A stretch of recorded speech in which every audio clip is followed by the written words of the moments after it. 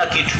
Inaitwa vice versa. Wanakuchezea kiini macho ndio maana mwanachuoni mkubwa ibnu kathir anasema asihru ni sarfu shay'in min mahalihi ila ghairihi. Uchawi ni kukibadilisha kitu kukitoa kwenye asili yake kwenda kwenye sehemu isiyokuwa asili yake. Unaona vice versa? Unaona kinyume nyume? Mfupi unamwona mrefu mrefu unamwona mfupi. Ndio maana uchawi. Anaweza kapita mtu hapa uchi hapa kapita katikati ya watu na nyinyi msimuone kapita hapa kuna wengine wako hapa hawana nguo kwenye muhadhara Subiri leo kwenye dua la maji mtaona kivumbi. Wainuke au siwe wangapo anasema pote ya poteli wale unaliwe mkono juu? Akiinuliwa mama yako hii hapo vipi?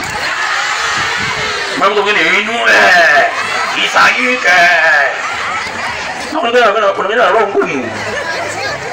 Mtoto kauli nyumbani usiku anaolala ni usiku ambao anakutana na matatizo makubwa ndoto za maajabu.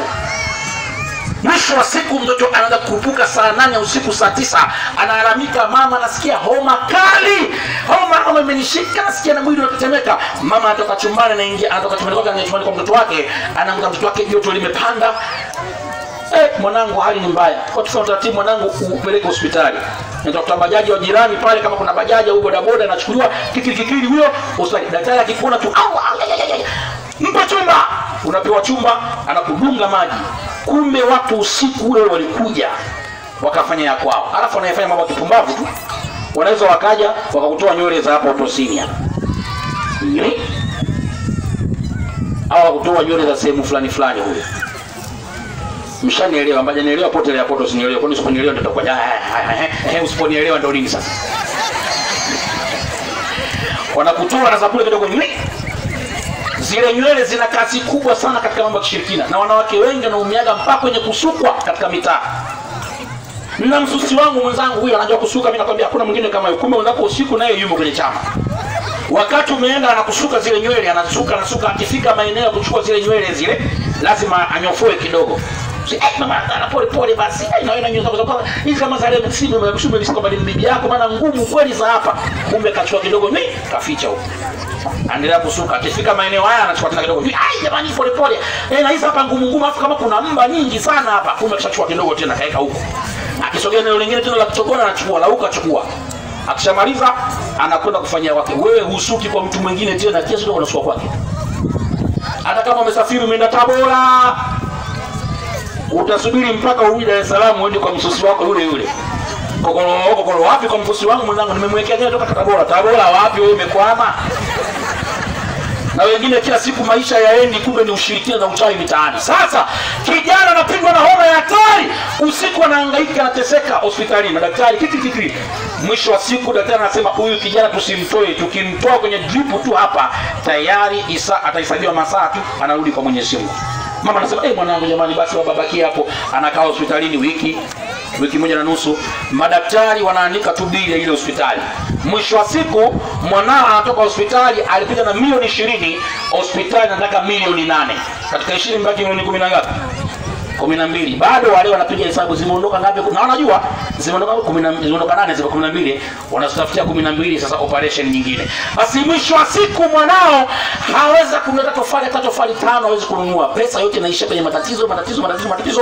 Mwisho wa siku mwanao naye anasema eh mama mimi naona bwana mambo ndogo sio mzuri. Wacha mimi zangu kwenye mambo yangu bwana. Mtoto anachukua ndege kama ndio tiketi ya kwenda na kurudi anaondoka. Mwingine ndio harudi tena. Wallahi kuna watu walitoka Ulaya wako hapa Dar es Salaam mpaka sasa hivi wameshindwa kurudi Ulaya. Passport mtu anaiangalia hii anarusha kwenye kwenye kabati. Kwa anaacha. Anakaa nafikiria hivi mimi nafanya nini? Hapa kazi hana.